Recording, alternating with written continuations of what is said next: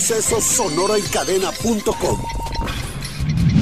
La Dirección de Salud Municipal informó que dicha dependencia se encuentra realizando inspecciones en los establecimientos que se dedican a la venta de alimentos en la vía pública, específicamente en donde hay mariscos. Hizo recomendaciones como fijarse bien en el lugar donde se van a consumir, que esté limpio, de igual forma que los alimentos estén conservados, que no estén a la intemperie o al sol, ya que por las altas temperaturas se echan a perder muy rápido.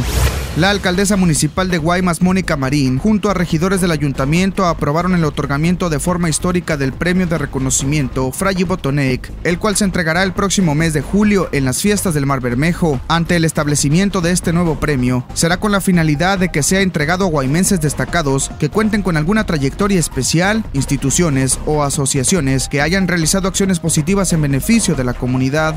Una propuesta más del candidato a la alcaldía Manuel Aguilar Juárez es el programa de Policía de Mando Único, donde se coordinará con la Secretaría Ejecutiva de Seguridad Pública del Estado a fin de que Guaymas cuente con la primer policía del mando unificado de la entidad.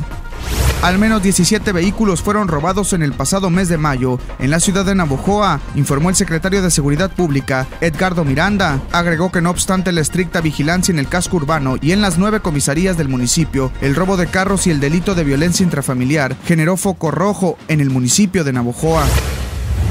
Sucesos Sonora en Cadena.com. Ahora los sonorenses más y mejor informados.